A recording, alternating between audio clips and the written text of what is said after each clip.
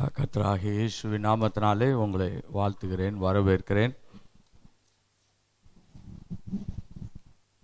கத்தர் கொடுத்த அந்த அருமையான வாய்ப்புக்காய் நான் தேவனுக்கு நன்றி செலுத்துகிறேன். வேதத்தை நாம் முறைப்படி கற்றுக்கொள்வதற்கு கத்தர் இப்படிப்பட்ட வாசல்களையும் வாய்க்கால்களையும் நமக்கு ஏற்படுத்துகிறார். அதை நாம் பயன்படுத்தி கொள்கிறோம். அலையிலூயா அதனால் நீங்கள் நிறைய பேர் முயற்சி எடுத்து இந்த பாடத்திட்டத்திற்காக வந்திருக்கிறீர்கள். கர்த்தர் தாமே உங்களை ஆசீர்வதிப்பாராக. ஏன்னா நம்ம எடுக்கக்கூடிய ஒவ்வொரு முயற்சிகளையும் தேவன் நிச்சயமாய் அங்கீகரிப்பார் என்று நான் ஆழமாய் நம்புகிறேன். சில முயற்சிகள் சிறிய புரோஜனத்தை ஏற்படுத்தும்.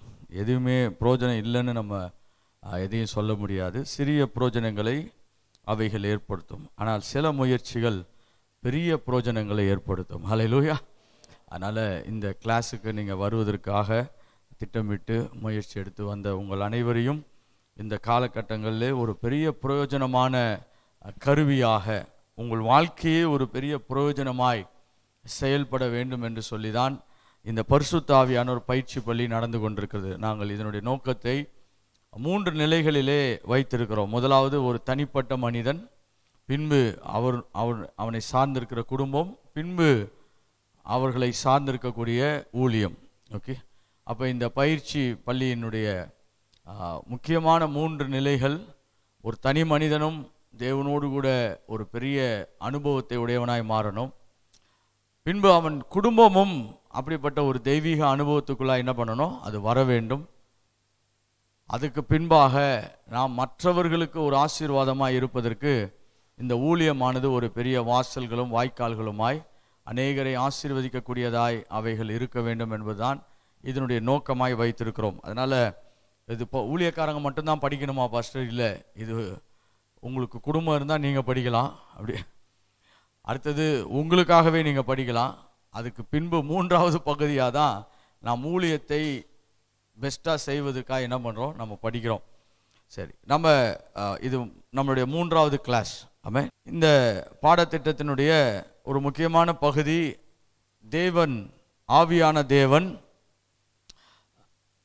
ஹூ இஸ் ஹோலி ஸ்பிரிட் பரிசுத்தாவியானவர் யார்? அவர் ஒரு நபர்.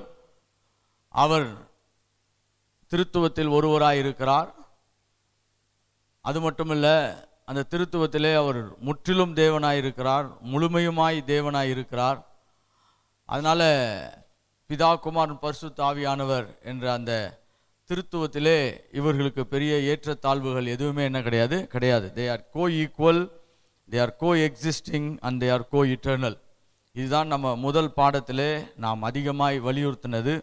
இரண்டாவது பாடத்திலே அவருடைய ஆள் தத்துவத்தை நாம் அதிகமாக தியானித்தோம். இந்த அவரை ஒரு நபராக அவரை ஒரு நபராக நாம் எப்படி பார்க்கிறோம்? How do we see him as a person ஏன்னா இன்றைக்கு நாம் மாம்சத்தில் இருக்கக்கூடிய அந்த தன்மைகள் தன்மைகள் இருந்தால்தான் அவரை ஒரு நபர் என்று சொல்லுகிறோம். நபர் என்பவர்கள் இந்த மாம்சத்துக்குரிய தன்மையான உடம்பை உடையவர்களாக இல்லாமல் இருந்தாலும் அவர்களுக்கு ஆவிக்குரிய சரீரம் இருக்கிறது. அவர்கள் நபர்களாக இருக்கிறார்கள். அதான் சொல்லும் மனிதன் கார்போரல் பீயிங்காக இருக்கிறான். அப்படி என்றால் அவனுக்கு இந்த பூமிக்குரிய சரீரம் ஒன்று இருக்கிறது. ஆனால் ஆவிக்குரிய தேவன் ஆவிக்குரிய மண்டலத்தில் இருக்கக்கூடியவர்களுக்கு ஆவிக்குரிய சரீரம் தான் என்ன பண்ணுகிறது? இருக்கிறது. ஆனால் ஒரு நபருக்குரிய எல்லா ஆள் தத்துவத்தினுடைய நிலைகளும் அவருக்கு கொடுக்கப்பட்டிருக்கிறது. We we conclude the they have the attributes ஒரு மனிதன் இருக்கக்கூடிய எல்லா தன்மைகளும் அவங்களுக்கு என்ன பண்ணுது? இருக்கிறது. மனம் இருக்கிறது சித்தம் இருக்கிறது உணர்வு இருக்கிறது. அவர்கள் வேதனைப்படுகிறார்கள். ஆவியானவர் வேதனைப்படுகிறார் வருத்தப்படுகிறார். அவரை நீங்கள் என்ன பண்ணலான்னா அவரை பஞ்ச் பண்ணலாம். அப்படி என்றால் அவரை அவித்து போடலாம். இப்படிப்பட்ட உணர்வுகள்லாம் ஒரு நபருக்கு தான் அது என்ன பண்ண முடியும்? அது இருக்க முடியும். அந்த நபருனுடைய தன்மைகளை சார்ந்து தான் அது என்ன பண்ண முடியும்? செயல்பட முடியும் என்பதை போன கிளாஸில் நம்ம திட்டவட்டமாய் படித்தோம். ஏன்? இவர் நபராய் இருக்கிறார் என்பதை அவ்வளவு வலியுறுத்தி படிக்க வேண்டும் புரிந்து கொள்ள வேண்டும் என்றால் ஒரு நபரோடு தான் நாம் பழக முடியும். ஹalleluya ஏன்னா நாம் ஒரு நபராக இருக்கிறோம். நாம் பூமிக்குரிய சரீரத்தை உடைய நபராக இருக்கிறோம். ஆவியானவர் ஆவிக்குரிய நபராக ஆவிக்குரிய சரீரத்தின் தன்மைகளை உடையவர்களாக என்ன பண்ணுறாங்க அவங்க இருக்கிறாங்க. அப்போ நம்ம வந்து யார் கூட பழக முடியும்னா ஒரு நபரோடு தான் என்ன பண்ண முடியும்? பழக முடியும். இல்லை நம்ம கூட யார் பழக முடியும்னா ஒரு நபர் தான் என்ன பண்ண முடியும்? பழக முடியும். அதனால் நம்ம பழகுவதற்கு ஏற்ற ஒரு வாய்ப்பை தேவன் பூமியிலே நமக்கு கொடுக்க வேண்டும் என்று சொன்னால் அவர் நிச்சயமாய் ஒரு மனிதனாய் இருந்தால்தான் ஒரு மனிதத்துவத்தினுடைய தன்மைகளை உடைய ஆவிக்குரிய ஒரு நபராக இருந்தால்தான் அது என்ன பண்ணும்? அது நிறைவேறப்பட முடியும். ஹalleluya. இல்லாவிட்டால் அவரோடு கூட நம்ம கம்யூன் பண்ணுறது முடியாத ஒரு விஷயமா இருக்கும் நம்ம இந்த திருச்சபைகளில் இந்த கடைசியாய் ஒரு ஒரு ஆசீர்வாதத்தை நம்ம சொல்லுவோம் பாருங்க. பிதாவாகிய தேவனுடைய அன்பும் குமாரனாகிய இயேசு கிருஷ்ணனுடைய கிருபையும் கரெக்டா பர்சுத்தாவியானவருடைய அந்யூன்ய ஐக்கியம். இப்போ ஐக்கியம் எப்போ வரும்? அந்யூனி ஐக்கியம் எப்போ வரும்னா அவர் ஒரு நபராக இருந்தால் தான் அவரோடு கூட என்ன பண்ண முடியும்? நாம் நெருங்க முடியும் பழக முடியும் அவரும் நம்மோடு கூட பழக முடியும். அதனால தான் ஆவியானவர் ஒரு ஆற்றல் ஒரு சக்தி ஒரு இனம் புரியாத வல்லமை என்றெல்லாம் அவரை நம்ம என்ன பண்ண முடியாது? அடையாளப்படுத்த முடியாது அடையாளப்படுத்தவும் கூடாது. அவர் ஒரு நபராக இருக்கிறார். அவர் பல விதங்களிலே தன்னை வெளிப்படுத்துகிறார் என்ற பொழுதுதான் அவர் அப்படிப்பட்ட தன்மைகளை நமக்கு என்ன பண்ணுகிறார்? புரியும்படியாய் எடுத்து காட்டும்படியாய் அப்படி விளங்குகிறார்.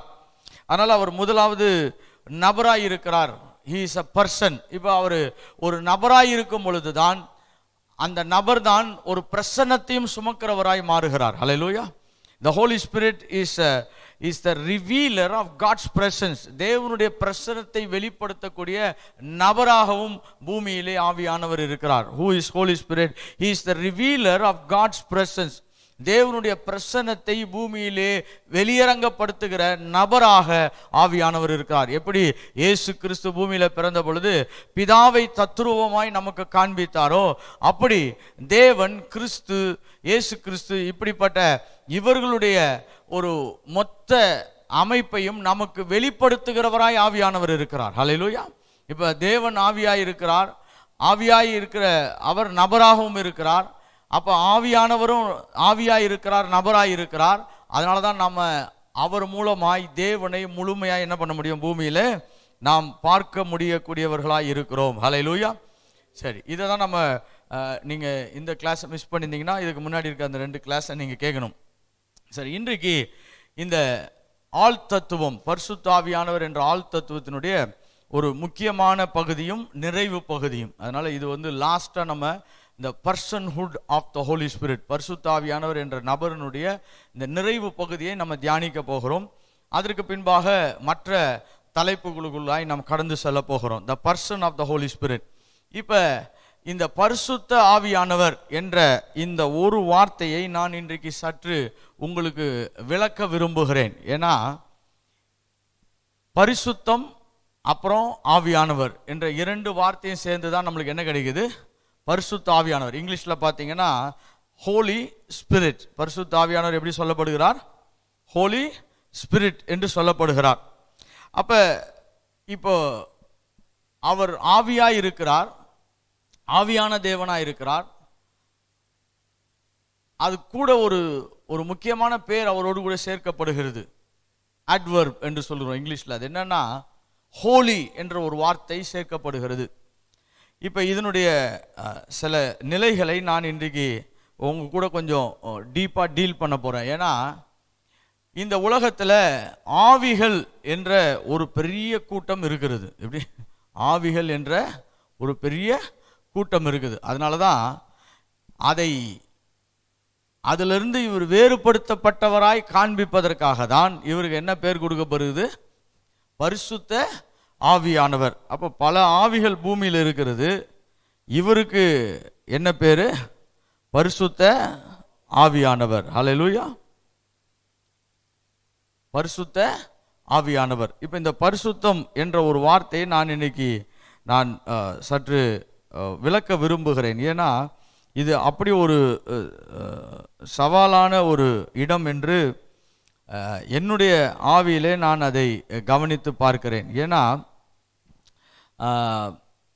அதுக்காக தான் இந்த கிளாஸை வந்து நம்ம இன்றைக்கி கொஞ்சம் ஒரு ஸ்டெப் ஹையராக கொண்டு போக போகிறோம் என்னென்னா இது வந்து நார்மலாக இருக்கிற பீப்புளுக்கு இதை நம்ம டீச் பண்ணுறது ஒவ்வாததாக இருக்கும். நீங்கள் எல்லாரும் பல ஆண்டுகளாய் வேதாகம கல்லூரியில் பயின்று கொண்டிருக்கிறீர்கள் இல்லை பல ஆண்டுகளாய் ஊழியத்தில் இருக்கிறீங்க. அநேக வசனங்களை கேட்டிருக்கிறீர்கள். அதனால் நான் உங்களுக்கு என்ன பண்ணுறேன் அடுத்த லெவலுக்கு இந்த கிளாஸை நான் மூவ் பண்ணுறேன் இந்த ஃபஸ்ட்டு ரெண்டு கிளாஸ் நீங்கள் படிச்சிருந்தீங்கன்னா ஒரு என்னப்பா எப்படி இருந்திருக்கும்னா ஓகே இது வரைக்கும் நம்ம படித்ததை ஒரு ரிவைஸ் பண்ண மாதிரி இருக்கும். இப்போ நம்ம கொஞ்சம் டீப்பராக நான் உங்களை ஜேர்னி பண்ண விரும்புகிறேன் ஏன்னா ஏன் பரிசுத்த ஆவியானவரை பரிசுத்த ஆவியானவர் என்று சொல்லுகிறோம்? Why we call the Spirit of God as Holy Spirit இந்த கேள்விக்கு முதலாவது என்ன பண்ணணும்? நம்ம ஒரு பதிலை கொண்டு வர ஆவியானவர் உதவி செய்வாராக. ஹலலூயா ஏன்னா இப்போ பைபிளில் என்ன இருக்குதுன்னு படிக்கிறது ஒரு முதல் நிலை. ஆனால் அது ஏன் இப்படி இருக்கிறது என்று படிக்கும் பொழுது அது இரண்டாவது நிலைக்கு மாறுகிறது. When we say this is the truth but why it is truth ஏன் இது சத்தியம் என்று படிக்கும் பொழுது அது அடுத்த நிலைக்கு என்ன பண்ணுகிறது? அது மாறுகிறதா இருக்குது. அதனால் இந்த கிளாஸ் வந்து நம்மளுக்கு அடுத்த ஒரு பகுதிக்கு நேராக நான் சற்று என்ன பண்ண போகிறேன்? உங்களை நகர்த்த போகிறேன். ஏன்? பரிசு ஆவியானவருக்கு பரிசுத்த ஆவியானவர் என்ற ஒரு பேர் என்ன பண்ணப்படுகிறது? கொடுக்கப்படுகிறது என்பதை நான் விளக்குகிறேன். ஏன்னா இந்த பூமியில் பல ஆவிகள் இருக்கிறது. இந்த பூமியில் என்ன இருக்குது?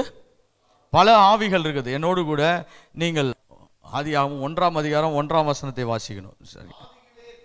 ஆதியிலே தேவன் வானத்தையும் பூமியும் என்ன பண்ணாரு? சிருஷ்டித்தார். ஆ- ஒன்றாம் அதிகாரம் ஒன்றாம் வருஷம் ஆதியில் தேவன் எதை சிருஷ்டித்தார்? வானத்தையும் பூமியும். இப்போ இதில் ரொம்ப முக்கியமான ஒரு டெர்மினாலஜி இருக்குது முதல்ல அவர் எதை கிரியேட் பண்ணுறாரு வானங்கள். இங்கிலீஷில் பார்த்தீங்கன்னா ஹெவன்ஸ்னு இருக்கும். இங்கிலீஷில் என்ன இருக்கும்? ஹெவன்ஸ் இருக்கும். The first creation is heavens பரலோகங்கள் அப்படி என்றால் இந்த ஆவிக்குரிய உலகம் தான் முதலாவது என்ன பண்ணப்படுகிறது? உருவாக்கப்படுகிறது. ஆவிக்குரிய உலகம் தான் முதலாவது என்ன பண்ணப்படுகிறது? உருவாக்கப்படுகிறது. அடுத்தது தான் இந்த பூமிக்குரிய உலகம் உருவாக்கப்படுகிறது. இந்த குரோனாலஜியை நம்ம தெரிஞ்சுக்கணும். இந்த கால அட்டவணையை சரியாய் புரிஞ்சுக்கணும். God create in the beginning God created the heavens and the earth முதலாவது எதை கிரியேட் பண்ணுறாரு ஆவிக்குரிய மண்டலங்கள். அதை தான் கிரியேட் பண்ணுறாரு அப்போ ஆவிக்குரிய மண்டலங்களிலே அநேக ஆவிகளை நாம் என்ன பண்ணுகிறோம்? அங்கே பார்க்க முடியும். அநேக ஆவிகளை என்ன பண்ண முடியும்? அங்கே பார்க்க முடியும். அதில் இரண்டு ஆவிக்குரிய தன்மைகள் உடையவர்களை நான் விளக்குகிறேன். ஒன்று தேவன் அடுத்தது தேவ தூதர்கள் ஒன்று தேவன் அடுத்தது யாரு? தேவ தூதர்கள் தேவனும் ஆவியாக இருக்கிறார் அவர் வானங்களை உருவாக்கும் பொழுது அநேக ஆவிக்குரிய தூதர்களை என்ன பண்ணுகிறார்? உருவாக்குகிறார். நீங்கள் வெளிப்படுத்தின புஸ்தகம் வரும்பொழுது அநேக மிருகங்கள் கூட என்ன பண்ணப்படுது? கிரீச்சர்ஸ் என்று சொல்லுகிறது. கரெக்டாக அதெல்லாம் விளக்கவே முடியல யோவானால். அப்போ ஆவிக்குரிய உலகத்தில் நிறைய காரியங்கள் உருவாக்கப்பட்டது. நமக்கு ரெண்டு நல்ல கிளியராக தெரிஞ்சது என்ன? தேவன் ஆவியாக இருக்கிறார். ஒன்று அவர் அடுத்தது அவரால் உருவாக்கப்பட்ட தேவ தூதர்கள். அதில் ஒரு டீம் வந்து என்ன பண்ணுது? விழுந்து போகிறது. அதுதான் ஈவில் ஸ்பிரிட்ஸ் என்று சொல்கிறோம். அதை தான் விழுந்து போன இந்த ஆவி உலகத்தை நாம் என்ன சொல்லுகிறோம்?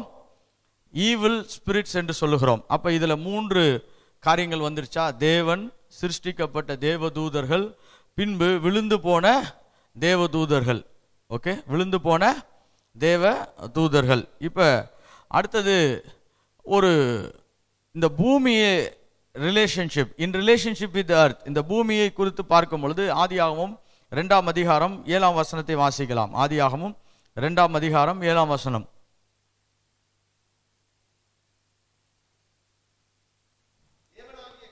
தேவனாகிய கர்த்தர் ஆ பூமியிலே மனுஷனை மண்ணாலே உருவாக்கி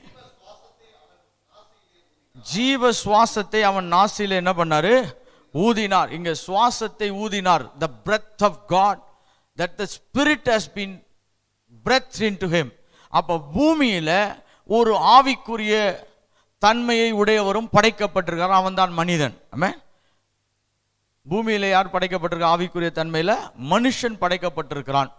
He has the breath of God the ruach or ruah என்று சொல்லுகிறோம். ருவாக் என்ற அந்த எபிரேய வார்த்தை அதை தான் ஊதப்பட்டது. யார்? மண்ணான மனிதனுக்குள்ளாய் ஊதப்பட்டது. அப்பொழுது அவன் ஜீவ ஆத்துமாவாக மாறுகிறான்.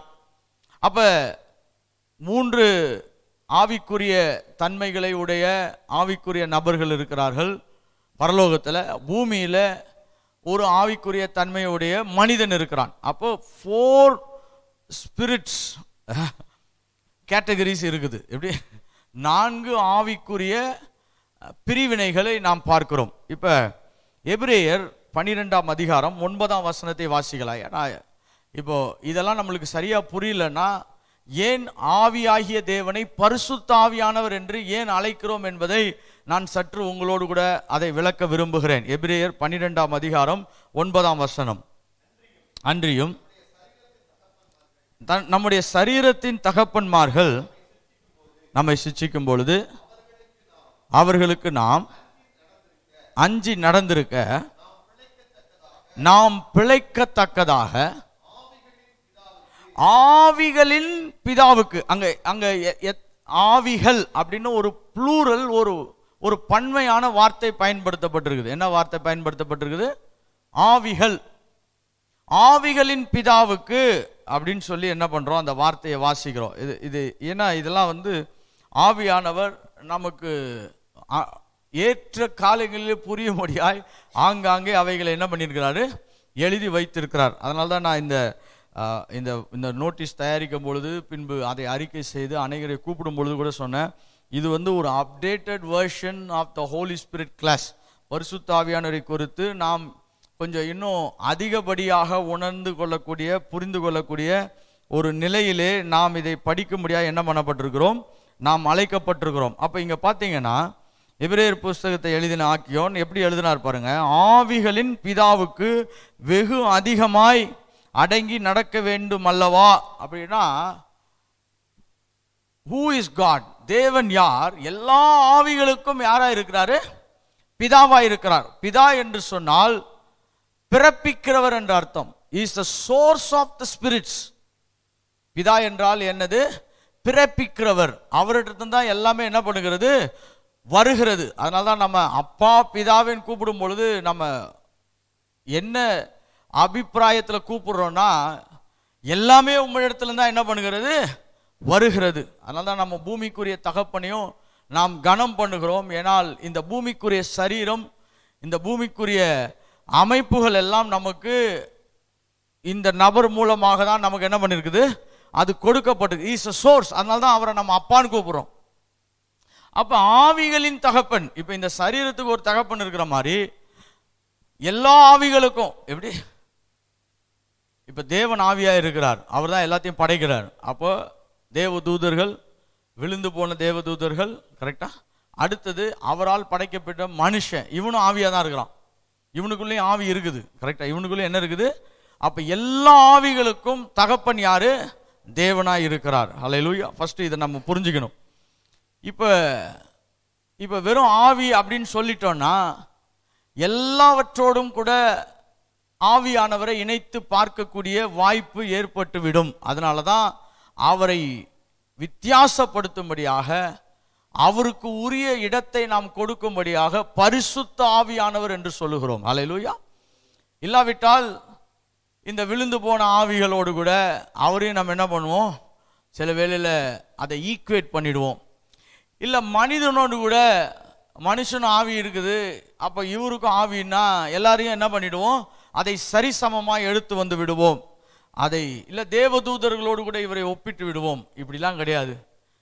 இவர் பரிசுத்த ஆவியானவர். பரிசுத்தம் என்று இந்த வார்த்தைக்கு சில முக்கியமான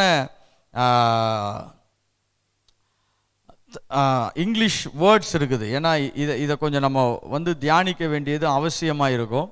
அதனால தான் இதை நான் இன்னைக்கு கொஞ்சம் உங்களுக்கு சொல்லித்தர நான் விரும்புகிறேன். ஏன்னா இது அவ்வளோ ஒரு முக்கியமான இடத்தை சார்ந்தது. ஏன்னா இவரை ஏன் பரிசுத்த ஆவியானவர் என்று நாம் என்ன பண்ணுகிறோம்? அழைக்கிறோம்.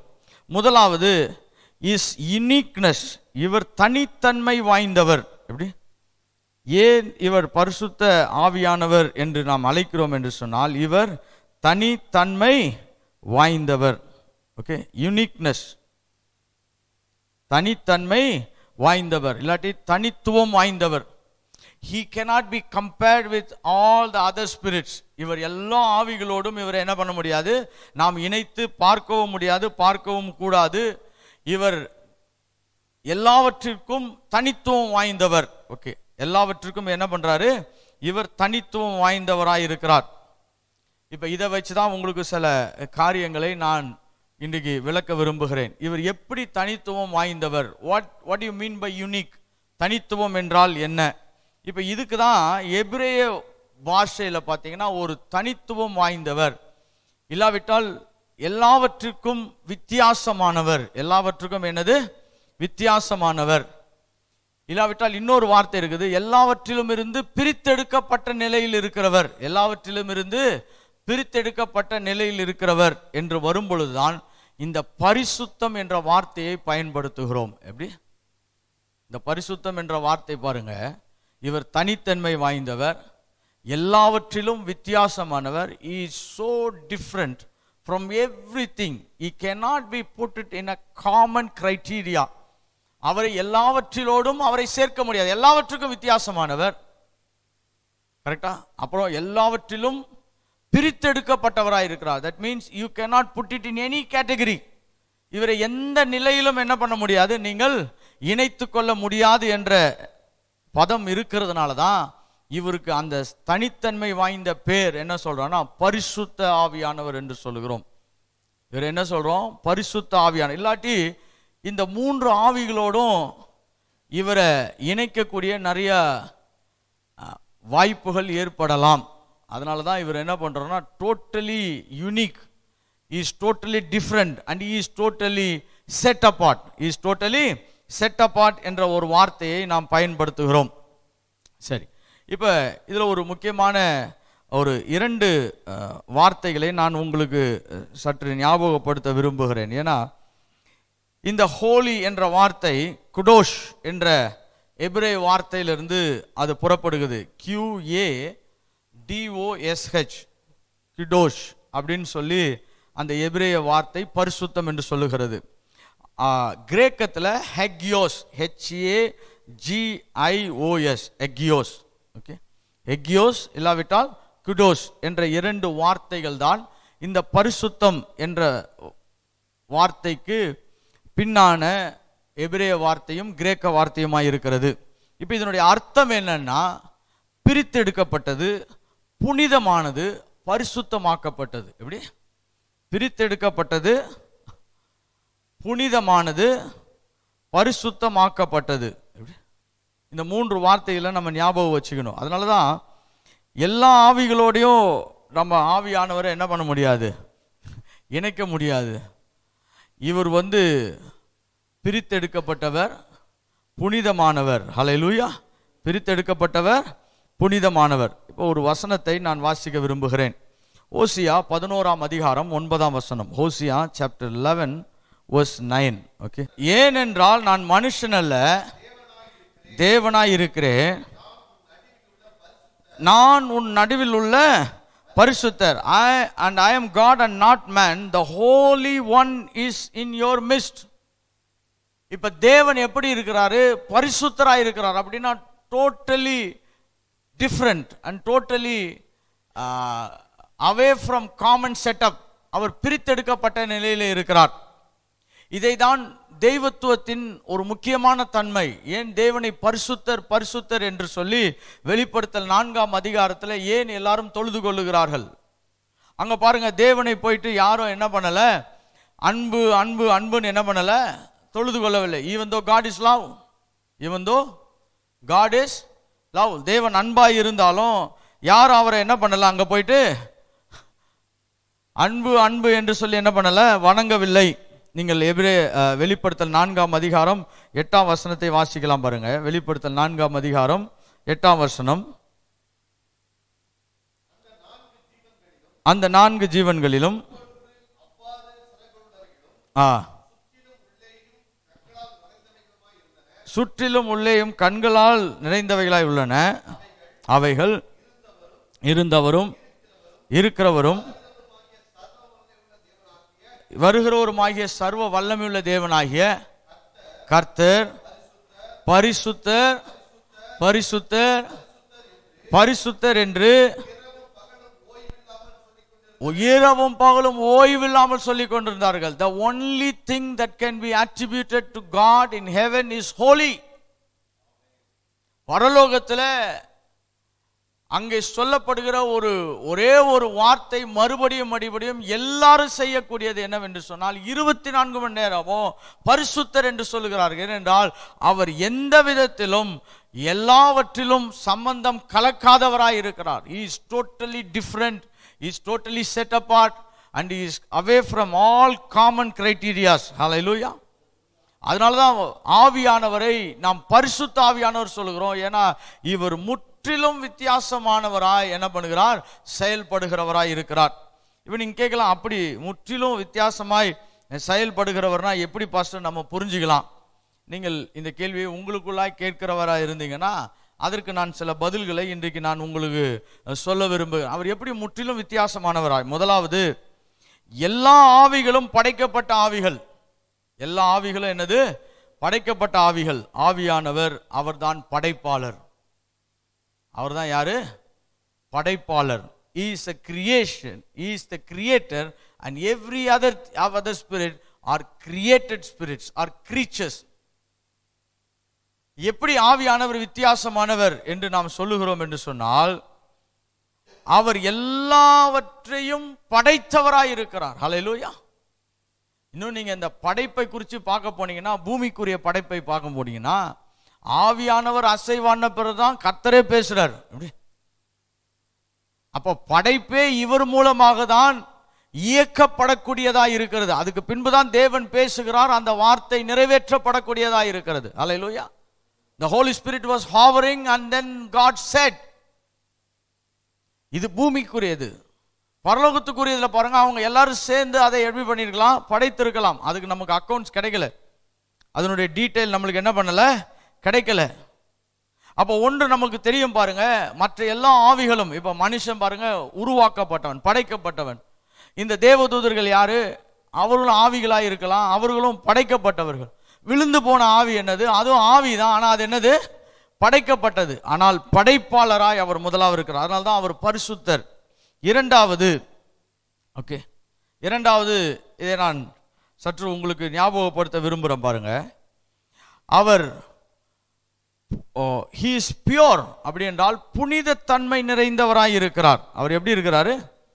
புனிதத்தன்மை நிறைந்தவராய் இருக்கிறார் அட்டர் பியூரிட்டி என்று சொல்லுகிறோம். அட்டர் பியூரிட்டி ஒரு ஒரு முழுமையான புனிதத்தன்மை உடையவராய் அவர் இருக்கிறார். நீங்கள் ஆபகுக் ஒன்றாம் அதிகாரம் பதிமூன்றாம் வசனத்தை வாசிக்கலாம். ஆபகுக் ஒன்றாம் அதிகாரம் பதிமூன்றாம் வசனம். தீமையை பார்க்க மாட்டாத. சுத்த கண்ணனே. அடி அநியாயத்தை நோக்கி கொண்டிருக்க மாட்டீரே அப்படி என்றால் he he cannot tolerate any kind of evil or corruption utter purity இப்போ நம்ம பாருங்க சில வேளைகளில் நம்மளும் ஆவிக்குரிய தன்மை உழைவிடா இருந்தாலும் பல துர்க்கிரியைகளையும் துர்ச்செயல்களையும் துர்செய்திகளையும் நம்ம ஏற்றுக்கொள்கிறோம். எப்படி? விழுந்து போன ஆவிகள் முற்றிலுமாய் என்ன பண்ணப்பட்டிருக்குது? துர்கிரியைகளுக்கு துர்க்கிரியைகளுக்கு உட்பட்டதா இருக்கிறது. இந்த தேவதூதர்கள் தான் இதில் அந்த பரிசுத்தமான நிலையில் தங்கி இருக்கிறாங்க. ஆனால் அவர்கள் படைக்கப்பட்டவர்களாய் தான் இருக்கிறாங்க. ஆனால் ஆவியானவர் படைத்தவராயும் இருக்கிறார். முற்றிலும் தீமைக்கு விலகின சுத்த கண்ணராய் இருக்கிறார் ஹலையிலூயா அதனால தான் இது தனித்தன்மை வாய்ந்தவராக இருக்கிறோம் இப்போ ஆ, தேவதூதர்கள் கூட பரிசுத்தமானவங்க தாங்கன்னா பரிசுத்தமானவங்க தான். ஆனால் அவங்க படைப்பாளர் கிடையாது. அவங்க யார் கிடையாது? படைப்பாளர் கிடையாது. அவங்க படைக்கப்பட்டவர்கள். இப்போ இது இதில் எல்லாமே இப்போ எப்படி இவர் பரிசுத்தமானவர் அப்படின்னா தனித்தன்மை வாய்ந்தவர் பிரித்தெடுக்கப்பட்டவர் முற்றிலும் வித்தியாசமானவர் எல்லாவற்றுக்கும் மேலானவர் எப்படி சொல்கிறான்னா இப்போ நான் சொல்ல போகிற சில தகவல்கள் எல்லாம் ஒன்றிணைக்கப்பட்டிருந்தாலே மட்டும்தான் அவரை நாம் பரிசுத்த ஆவியானவர் என்று என்ன பண்ண முடியும் நம்மளால? அடையாளப்படுத்த முடியும். முதலாவது அவர் படைத்தவராய் இருக்கணும். ரெண்டாவது சுத்த கண்ணராய். அப்படின்னால் அட்டர் பியூரிட்டி முற்றிலும் பரிசுத்தராய் அவர் என்ன பண்ணுறாரு இருக்கிறார். மூன்றாவது ஓகே மூன்றாவது வி கால் இட் அஸ் முழுமையானவர். மூன்றாவது என்னது? முழுமையானவர். ஓகே இப்போ இந்த வார்த்தை வந்து நம்ம புரிஞ்சுக்கிறதுக்கு கொஞ்சம் நம்மளுக்கு ஏன்னா கொஞ்சம் கஷ்டமாக இருக்கலாம். முழுமையானவர்ன்றதுக்கும் பரிசுத்தத்துக்கும் என்ன பாஸ்டர்? அப்படின்னீங்கன்னா நான் உங்களை லேவியராகம புஸ்தகத்தினுடைய சில இடங்களுக்கு நான் உங்களை ஞாபகப்படுத்த விரும்புகிறேன். இப்போ எல்லாத்தையும் வாசிக்க முடியாது. லேவியராகம புஸ்தகத்தில் பதினெட்டு பர்சன்ட் லேவியராகம புஸ்தகத்தில் பதினெட்டு சதவீதம் பரிசுத்தத்தை குறித்து தான் அதிகமாக என்ன பண்ணப்பட்டிருக்கோம்? எழுதப்பட்டிருக்கோம். அதில் என்ன பார்த்தீங்கன்னா நீங்கள் நசல் கொண்டது எடுக்க முடியாது. அடிப்பட்ட மிருகங்கள் எடுக்க முடியாது. கரெக்டாக ஒரு ஆண் கன்றை தான் எடுக்கணும். இல்லாவிட்டால் ஆண் கடாவை தான் எடுக்கணும். இப்படி எல்லாமே என்னன்னா குறைவுள்ளதை நீங்கள் அது பக்கத்தில் என்ன பண்ண முடியாது. தேவனுக்கு பலியிடவே முடியாது. பதினெட்டு சதவீதம் லேவியர் ஆகமத்தில் இந்த பரிசுத்தம் என்றால் ஒரு முழுமை தன்மையை விளக்கக்கூடியதை மட்டும்தான் பேசப்பட்டிருக்கிறது. இப்படி முழுமை தன்மையை பேச இருக்கிறதை மட்டும்தான் பேசப்படுறது. அன்கிளீன் அனிமல்ஸ் கிளீன் அனிமல்ஸ்னு ரெண்டை பிரிச்சுட்டாங்க. லேவி ராகமத்தில். லேவி ராகமத்தில் என்ன பண்றாங்க? அன்கிளீன் அனிமல்ஸ் க்ளீன் அனிமல்ஸ்னு பிரிச்சுட்டாங்க. இதுக்கு ஒரே ஒரு வசனத்தை வாசிக்கலாம். லேவியராகமும் இருபத்தி ஓராம் அதிகாரம் பதினேழாம் வசனத்திலிருந்து இருபத்தி மூன்று வரைக்கும். லேவியராகமும் இருபத்தி ஓராம் அதிகாரம் அஹ், பதின நீ ஆரோனோடு சொல்ல வேண்டியது என்னவென்றால் உன் சந்ததியார்களுக்குள்ளே அங்க வீணமுள்ளவன் ஆ தலைமுறை தோறும் தேவனுடைய அப்பத்தை செலுத்தும்படி என்ன பண்ண முடியாது? சேரலாகுது. இங்க பாருங்க அங்க வீணம் உள்ளவன் அப்படின்னு சொல்லி தமிழ்ல சொல்லியிருக்குது. இங்கிலீஷ்ல பாத்தீங்கன்னா எ பிளமிஷ் அப்படி என்றால் குறைவுள்ளவன் தேவனுக்கு அப்பத்தை செலுத்துவதுக்கு அவன் என்ன பண்ண முடியாது? வர முடியாது. அப்படி என்றால் ஒரு முழுமை நிலையிலே இருக்கிறவன். எப்படி இருக்கணும் அவன்? முழுமை நிலை. இவன்கிட்ட எந்த குறையுமே இருக்கக்கூடாது. He should not have any blemish அவனுக்குள்ள எந்த குறையும் இருக்கக்கூடாது. பதினெட்டாம் வசனம் வாசிக்கலாம் பாருங்க. அங்க வீணமுள்ள ஒருவனும் அணுகலாகாது. குருடனானாலும் சப்பானி ஆனாலும் குறுகிற அல்லது நீண்ட அவயம் உள்ளவனாலும் கால் ஒடிந்தவனானாலும் கை ஒடிந்தவனானாலும் கூணனானாலும் குள்ளனானாலும் பூ விழுந்த கண்ணனானாலும் சொரியனானாலும் அசருள்ளவனானாலும் விதை நசுங்கினவனானாலும் அணுகலாகாது ஏன் இவ்வளோ பேரை வந்து என் பக்கத்தில் வரக்கூடாதுன்றார்னா தேவன் முழுமையாக இருக்கிறார் குறை உள்ள எந்த ஒரு விஷயத்தையும் அவரிடத்துல கொண்டு வந்து நீங்கள் அர்ப்பணிப்பதை அவர் என்ன பண்றதில்ல? ஏற்றுக்கொள்வதில்லை. ஓகே இதெல்லாம் இயேசு கிறிஸ்துக்கு அப்புறம் முற்றிலுமாய் மாறிடுச்சு. ஏன்னா ஒரு முழுமையான பலியுமே மனிதர்கள் செலுத்த முடியவில்லை. குற்றமில்லாத ரத்தம் குற்றமில்லாத சரீரம் குற்றமில்லாத மிருகன்னு ஒரு முற்றிலும் முழுமையடைந்த ஒரு பலியை செலுத்த முடியாது. அதனால தான் இயேசு நமக்காக இந்த பூமியிலே வந்து ஒரு குற்ற நிவாரண பலியாக ஒரு ஒன்ஸ் அண்ட் ஃபார் ஆல் ஒரே தரம் பலியிடப்பட்ட பரிசுத்த பலியாய் அவர் மாறிவிட்டார். இப்போ இது நடந்து முடிஞ்சிருக்குது ரெண்டாயிரம் ஆண்டுகளுக்கு முன்பாக. ஆனால் அதுக்கு முன்னாடி ஏன் இதை தேவன் எழுதி வச்சிருக்கிறார்னா அவர் எப்படி உள்ளவர் என்பதை நாம் புரிந்து கொள்வதற்காக எழுதி வைத்திருக்கிறார். அப்போ தேவன் எப்படி இருக்கிறார்னா ஒரு குறைவுகளுமே இல்லாதவராக இருக்கிறார். அதனால தான் அவர் பரிசுத்தர். அலையிலூயா அதனால தான் அவர் யாரு? பரிசுத்தர். அப்போ மூன்றாவதாக இதை நீங்கள் ஞாபகம் வைத்துக் கொள்ளலாம் பாருங்க. அவர் படைத்தவராய் இருக்கிறார். அடுத்தது அவர் எந்த விதத்திலும் அசுத்தத்துக்கு துணை போகாதவராக இல்லை அதை பார்க்காதவராக இருக்கிறார். சுத்த கடராக இருக்கிறார். மூன்றாவதாக முழுமையானவராக இருக்கிறார். இப்போ இதில் தான் இந்த விழுந்த பேண தேவ தூதர்கள்லாம் முழுமையற்ற நிலையில் இருக்கிறார்கள். அவர்கள் ஆவிகளாக இருக்கிறார்கள் கரெக்டா ஆனால் அசுத்தங்களாக இருக்கிறார்கள்.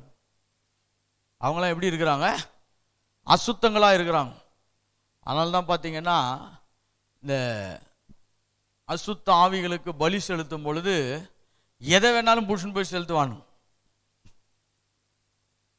அதில் சில வேலைகளில் ரொம்ப தப்பாக பூமியிலே அருவரிக்கக்கூடிய பலிகளை கூட அவங்க செலுத்துவாங்க. ஏன்னா அது பரிசுத்தம் கிடையாது. அதனால அது பரிசுத்தம் இல்லாததை ஏற்றுக்கொள்ளும். அந்த ஆவிகள். அப்ப தேவன் அவர் பரிசுத்தராய் இருக்கிறனால தான் முழுமையானவராய் இருக்கிறதுனால தான் முழுமையற்ற எந்த விஷயத்தையும் தேவன் என்ன பண்றதில்ல? ஏற்றுக்கொள்வதில்லை. முழுமையற்ற எந்த விஷயத்தையும் தேவன் என்ன பண்றதில்ல? ஏற்றுக்கொள்வதில்லை. இப்ப நான்காவதாக ஓகே தேவனிடத்திலிருந்து அது புறப்பட்டவைகளாய் இருக்க வேண்டும். அப்படி என்றால் it should proceed from God's head தெய்வத்துவத்தின் அந்த தன்மையிலிருந்து புறப்பட்டவைகளாய் இருக்க வேண்டும். அப்பொழுதுதான் அதை பரிசுத்தம் என்று நாம் சொல்லப்பட முடியும். Anything that does not start from God is not authenticated by God எதுவும் தேவனிடத்திலிருந்து புறப்படாதவைகள் எல்லாம் தேவனால் பரிசுத்தம் என்று அங்கீகரிக்கப்படாதவைகள். தேவனிடத்திலிருந்து புறப்படாதவைகள்லாம் என்னது? தேவனால் பரிசுத்தம் என்று என்ன பண்ணப்படலை? அங்கீகரிக்கப்படாதவைகள். அதனால்தான் கர்த்தர் வந்து நீ எனக்கு வந்து இந்த பலியை கொடுக்கணும் நீ இதை கொடுக்கக்கூடாது இதை நான் ஏற்றுக்க மாட்டேன் அப்படின்லாம் நிறைய சட்டத்திட்டம் வச்சுருக்காரு. ஏன்னா அவர் என்ன சொன்னாரோ அதை மட்டும்தான் அது பரிசுத்தமாக என்ன பண்ணப்படுகிறது? அங்கீகரிக்கப்படுகிறது. அதனால தான் பாருங்கள் இப்போ பிதா குமார் பரிசுத்தாவியான இவங்க மூன்று பேரும் ஒரே நிலையிலே அவர்கள் இணை ஐக்கியத்தை ஹார்மனியில் இருக்கிறாங்க. அவங்களுக்குள்ள எந்த விதமான முரண்பாட்டின் காரியங்களும் கிடையாது. There is no rebellion within them அவர்களுக்குள்ளாக எந்த விதமான எதிர்மறையோ முரண்பாடோ என்ன கிடையாது? கிடையாது. அதனால இவர் பரிசுத்தமானவர். ஹalleluya மற்ற எல்லா ஆவிகளுமே பிரச்சனைக்குரிய இடத்துல இருக்குது. ஏன்னா ரெண்டு பேர் எதிர்மறையாயிட்டாங்க. மூணு ஆவிகளில் தேவனை தவிர இருக்கக்கூடிய மூணு ஆவிகளில் ரெண்டு ஆவிகள் தேவனை எதிர்த்தாங்க. ஒன்று விழுந்து போன தேவதூதர்கள் அடுத்தது யாரு? மனுஷன். இப்போ பரிசுத்த தேவதூதர்கள் மட்டும்தான் தேவனுக்கு என்ன பண்றாங்க? இணக்கமாய் வாழ்ந்து கொண்டிருக்கிறார்கள். ஆனால் ஆவியானவர் பிதாவினிடத்திலிருந்து எல்லாம் புறப்படுகிறதுனால அவர் பிதாவினிடத்திலிருந்தே அவர் செயல்படுகிறதுனால அவர் எந்த விதத்திலும் என்ன பண்ணல? பிதாவுக்கும் குமாரனுக்கும் இவருக்கும் எந்த விதமான எதிர்ப்புகளையும் உருவாக்காமல் இணைப்பிலே இருக்கிறார்கள். They don't have any rebellion and they are in harmony that's why they are holy அதனால தான் இவர் யாரு? பரிசுத்த ஆவியானவர். ஓகே கொஞ்சம் தலைக்கு மேலே போகிற மாதிரி இருக்குதா?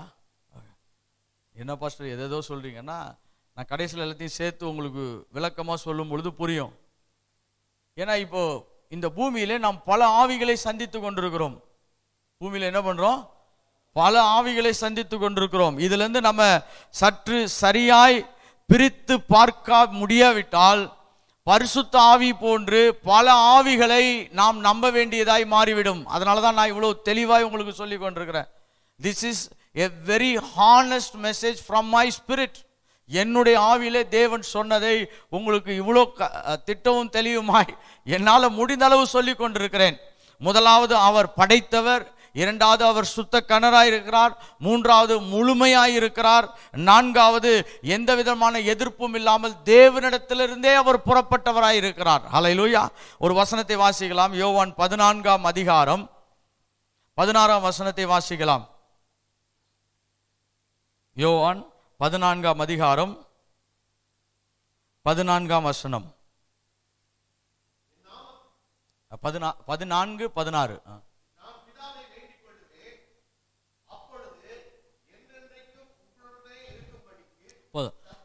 நான் பிதாவை வேண்டிக் கொள்வேன் அப்பொழுது என்றென்றைக்கும் உங்களோடு கூட இருக்கும்படியாக கரெக்டா ஒரு தேற்றவாளனை அவர் உங்களுக்கு என்ன பண்ணுவார்?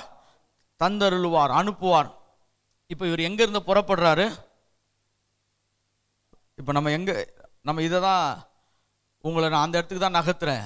இப்போ தேவனிடத்துலேருந்து எல்லாம் புறப்பட்டால் தான் அது பரிசுத்தம். ஹலை லூயா தேவனிடத்துலேருந்து புறப்பட்டால் தான் அது எல்லாம் பரிசுத்தம். இது நம்முடைய நினைவிலிருந்து புறப்பட்டால் பரிசுத்தம் கிடையாது. யாரோ ஒருத்தருடைய ஆலோசனையில் புறப்பட்டால் பரிசுத்தம் கிடையாது. உலக சட்ட திட்டங்களிலிருந்து புறப்பட்டால் அது பரிசுத்தம் கிடையாது. தேவனிடத்திலிருந்து புறப்பட்டால் மட்டும்தான் அது பரிசுத்தம். அப்ப இங்க அந்த வசனம் அதை தான் நமக்கு சொல்லுகிறது பாருங்க. இயேசு ஆவியானவரை குறித்து எப்படி திட்டவட்டமான ஒரு விள- விளக்கத்தை கொடுக்கிறார் பாருங்க. என் பிதாவை வேண்டிக் கொள்வேன் அப்பொழுது என்றென்றைக்கும் உங்களோடு கூட இருக்கும்படி சத்திய ஆவியாகிய வேறொரு தேற்றவாளனை அவர் உங்களுக்கு என்ன பண்ணுவாரு? He he proceeded அவர் தேவனிடத்திலிருந்து புறப்பட்டு வரக்கூடியவராய் இருக்கிறார். அதனால தான் அவர் பரிசுத்த ஆவியானவர். ஹalleluya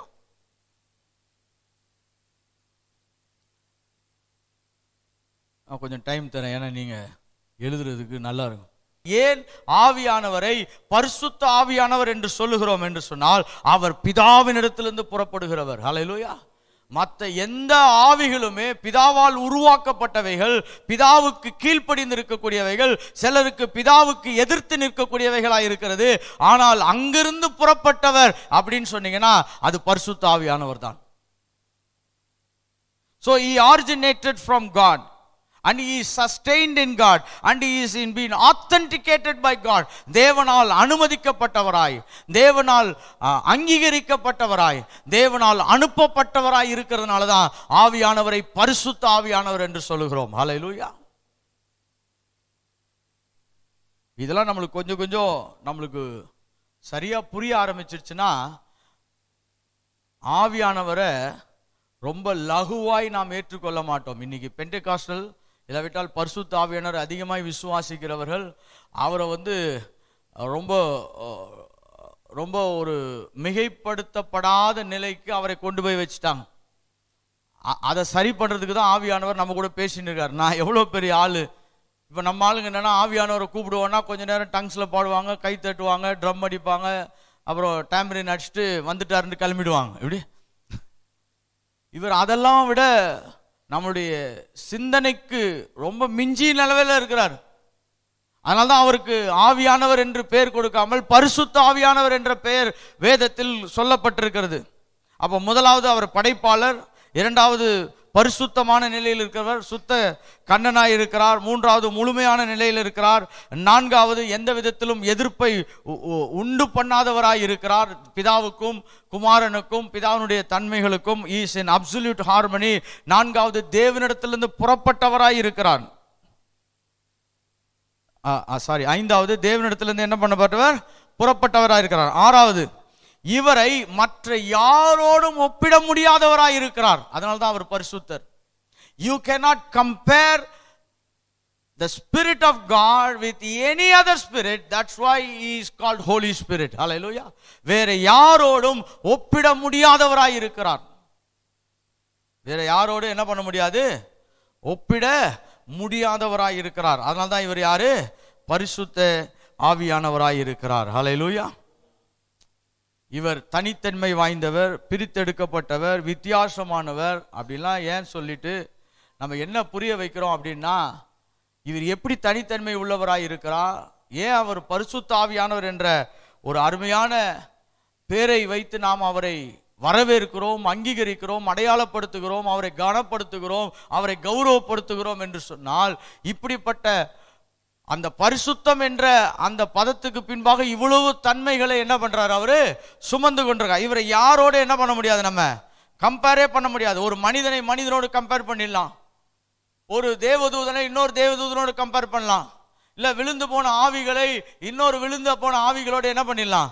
கம்பேர் பண்ணலாம். ஆனால் தேவனுடைய ஆவியை நீங்கள் யாரோடு போய் கம்பேர் பண்ண முடியும்? அதனால்தான் அவரை நாம் என்ன சொல்லுகிறோம்? பரிசுத்த ஆவியானவர் என்று சொல்லுகிறோம். ஹalleluya ஏழாவதாக it is the moral excellency என்று சொல்லுகிறோம். அப்படி என்றால் எந்த விதமான நன்னெறிகளிலும் அவர் உயர்ந்தவராயிருக்கிறார் பாருங்க செட் அப்பார்ட் என்பது ஒன்று பிரித்தெடுக்கப்பட்டது ஒன்று. செட் அபவ் அப்படின்னா எல்லாவற்றிலும் உயர்ந்தவர். எல்லாவற்றிலும் என்னவர்? உயர்ந்தவர். பிரித்தெடுக்கப்பட்டவர் வேற. உயர்ந்தவர் என்பது எல்லாவற்றிலும் உயர்ந்தவர். He is in moral excellency அப்படி என்றால் எந்த நல்ல பண்புகளிலும் எல்லாவற்றிலும் உயர்ந்த நிலையில் இருக்கிறார். அதை யாரோடையும் நீங்க என்ன பண்ண முடியாது? கம்பேர் பண்ண முடியாது. அதை ஒப்பிட முடியாது. அதனால தான் பாருங்க நம்ம தேவனை முழுமையாய் புரிந்து கொள்ள முடியல. ஏன்னா அவரை யாரோட என்ன பண்ண முடியாது நம்ம? ஒப்பிட முடியாது. அவருடைய பண்புகளையும் அவருடைய நன்னெறி கோட்பாடுகளையும் யாரோட என்ன பண்ண முடியாது? நம்ம ஒத்து பார்க்க முடியாது. அந்த கேட்டகரியில தான் பரிசுத்தாவியானவரும் வருகிறார். ஹalleluya அதே நிலையில தான் யார் வரா? பரிசுத்தாவியானவரும் வருகிறார். இஸ் மாரலி எக்ஸலண்ட் அதனால ரெண்டு வார்த்தையில நல்லா ஞாபகம் வச்சுக்கோங்க. பிரித்தெடுக்கப்பட்டவர் எல்லாவற்றுக்கும் மேலானவர். பிரித்தெடுக்கப்பட்டவர் எல்லாவற்றுக்கும் மேலானவர். இது இங்கிலீஷ்ல கொஞ்சம் ஈஸியாக வரும். Set apart and set above set apart and set above okay இந்த ரெண்டு வார்த்தைகளினால தான் இந்த பரிசுத்தம் என்ற பதம் விளக்கப்படுகிறது. இது ஆவியானவருக்கு எல்லாவற்றிலும் பொருத்தமாய் இருக்கிறது ஹalleluya இப்ப ஆவியானவர் உள்ள வந்தார்னா அவன் தேவனை போல மாறுகிறான். ஏனென்றால் அவருடைய சுபாவமும் தன்மையும் நாம் தேவனுடைய சுபாவத்துக்கும் தன்மைக்குரியதாய் மாற்ற தேவன் முயற்சி செய்கிறான் அதனால தான் பரிசுத்த ஆவியானவர் உள்ள வந்தானா ஒருத்தன் பரிசுத்தம் ஆகிறான் என்று நாம் சொல்லுகிறோம். அல்லேலூயா. அதனால தான் அவன் பரிசுத்தம் ஆகலைன்னா இப்போ அது வந்தது ஆவியானவரான்னு என்ன பண்ணணும்? கொஞ்சம் செக் பண்ண வேண்டிய ஒரு முக்கியமான கட்டத்துக்கு நாம் நகர்த்தப்படுகிறோம். ஏன்னா பல ஆவிகள் இன்றைக்கு ஏறுகிறது இறங்குகிறது. பல ஆவிகள். இப்போ இதெல்லாம் நம்ம போக போக நான் உங்களுக்கு கொஞ்சம் அந்தந்த கிளாஸில் நான் எடுப்பேன். ஏன்னா இப்போ ஆவியானவரை பற்றி நீங்கள் கரெக்டாக புரிஞ்சுக்கணும்னா வேறு ஆவிகளை குறித்தும் கரெக்டாக புரிஞ்சுக்கணும். எப்படி? வேறு ஆவிகளை குறித்து என்ன பண்ணணும்? கரெக்டாக புரிஞ்சு இஸ் மாரலி எக்ஸலண்ட் அவர் நம்மளை பரிசுத்தத்துக்கு நேராக ஏன்னா அவரே பரிசுத்தமாக இருக்கிறார் எல்லா நன்னெறிகளிலும் உயர்ந்தவராய் இருக்கிறார் உயர்த்தப்பட்டவராய் இருக்கிறார் அப்ப நம்ம அவர் நமக்குள்ளாய் வாசம் செய்யும் பொழுது நாமும் அப்படிதான் என்ன பண்ணுகிறோம்? மாறுகிறவர்களாய் இருக்கிறோம். ஒன்று தெசலோனிக்கையர் நான்காம் அதிகாரம் மூன்றாம் வசனம். ஒன்று தெசலோனிக்கையர். வாசிக்கலாம். ஒன்று தெசலோனிக்கையர் நான்காம் அதிகாரம் மு- நீங்கள் பரிசுத்தம் உள்ளவர்களாய் வேண்டும் என்பதே தேவனுடைய சித்தமாய் இருக்கிறது. அந்தபடி அந்தபடி நீங்கள் வேசி மார்க்கத்துக்கு விலகி இருந்து for this is the will of God your sanctification நீங்கள் பரிசுத்தமாகுதலே தேவனுடைய என்னவா இருக்கிறது சித்தமா இருக்குது இப்போ எட்டாம் வசனம் வாசிக்கலாம் பாருங்க. ஆகையால் அசட்டை பண்ணுகிறவன் மனுஷரை அல்ல தம்முடைய பரிசுத்த ஆவியை தமக்கு தந்தலின தேவனே ஆசீர்வாதம். ஏன்னா பரிசுத்தாவியானவர் எதுக்கு கொடுக்கிறார்னா நாம் பரிசுத்தமாக இருப்பது கொடுக்கிறார். ஏன்னா அவர் எல்லாவற்றிலும் பரிசுத்தராக இருக்கிறார். He is morally morally in everything so he is given to us so that we will also be sanctified and we will also be morally excellent hallelujah. நாம் பரிசுத்தமாக்கப்பட்டவர்களாய். இப்போ ஏழாம் வசனம் வாசிக்கலாம் பாருங்க. ஒரு சில வசனங்கள். தேவன் நம்மை அசுத்தத்திற்கு அல்ல. பரிசுத்தத்துக்கே அழைத்திருக்கார் அதுக்கு தான் ஆவியானவரே கொடுத்திருக்கிறார். அப்ப அவர் அப்படி இருந்தாதான் நமக்குள்ள அப்படிப்பட்ட வேலைகள் என்ன பண்ணும்? நிறைவேறும். அதனால தான் இன்னைக்கு நம்ம ஆவியில நிரம்பும் பொழுது அந்நிய பாஷை பேசும் பொழுது கரங்களை தட்டி கீழே உளுந்து புரண்டு எந்திரிச்சு எப்படி? குதிச்சு நடந்து தவழ்ந்து முட்டியில போய் எப்படி வேணாலும் போங்க. ஆனால் உள்ளே இருக்கிறவர் பரிசுத்தத்தை உருவாக்குகிறாரா என்பது நமக்கு ஒரு முக்கியமான அடையாளமாய் தேவன் வைத்திருக்கிறார். சில பேர் சொல்லுவாங்க நான் அப்படி உழுந்துட்டேன் இப்படி உழுந்துட்டேன். நான் இப்ப எதையுமே தேவன் என்ன வேணாலும் செய்யலாம். அல்ல லூயா I I I am open to God ஆவியானவர் எப்படி வேணாலும் ஒரு மனிதன் என்ன பண்ணலாம்? தொடலாம். அவனுக்கு ஒரு ஒரு ஒரு சுடு சுடு சூடை உணர்கிறதை போல இருக்கலாம். இல்லாவிட்டால் ஒரு குளிர்ச்சியை உணர்கிறதை போல இருக்கலாம். கீழே உழலாம். அவன் அவனுடைய எல்லா பிசிக்கல் சென்ஸையும் அவர் வந்து ஷட் டவுன் பண்ணலாம். அப்படி என்றால் அவனுடைய எல்லா உணர்வுகளையும் அதை கொஞ்ச நேரம் அமைதிப்படுத்தலாம். இதெல்லாம் நான் நம்புகிறேன். ஆனால் அதே போல இது முக்கியமான தன்மை. ஏனென்றால் அவர் பரிசுத்தத்தை உள்ளே பிறப்பிக்கிறவராய் இருக்கிறார் இதெல்லாம் பண்ணிட்டு நமக்குள்ள பரிசுத்தம் உருவாகலைன்னா இப்போ நம்ம என்ன ஆவி உடையவர்களாய் இருக்கிறோம் என்பதை நம்ம ரொம்ப ஞானமாய் கேள்வி கேட்க அழைக்கப்பட்டிருக்கிறோம். அதனால்தான் இவர் பரிசுத்த ஆவியானவர். Morally excellent morally set above எல்லாவற்றுக்கும் மேலே இருக்கிறாரு. நீங்கள் அந்த ஒன்று தேசம் நான்காம் அதிகாரத்தை போய் நீங்கள் வீட்டில் படித்து பார்த்தீங்கன்னா நிறைய விஷயத்தை அங்கே பரிசுத்தத்தை குறித்து பேசிட்டு ஆவியானவரை குறித்து கொண்டு வருவார் பவுல். நிறைய பரிசுத்தத்துக்குரிய செய்கைகளை பேசிட்டு என்ன பண்ணுவார்? ஆவியானவரை கூட்டு வருவார். ஏன்னா இவர் உள்ளே இருக்கிறதே அதுக்கு தானப்பா ஆனால் நீங்கள் அசுத்தத்துக்கு உங்களை ஒப்பு கொடுத்து அசுத்தத்துக்கு நிறைவேற்றுகிறவெல்லாம் என்ன பண்ண முடியாது? நீங்கள் மாற முடியாது என்பதை சொல்லுகிறார். அப்போ இந்த ஏழு காரியங்களினால தான் ஆவியானவரை நாம் பரிசுத்த ஆவியானவர் என்று சொல்லுகிறோம். ஹalleluya. இன்னொரு முறை கடைசியாக நான் கோர்வையாய் சொல்ல விரும்புகிறேன்.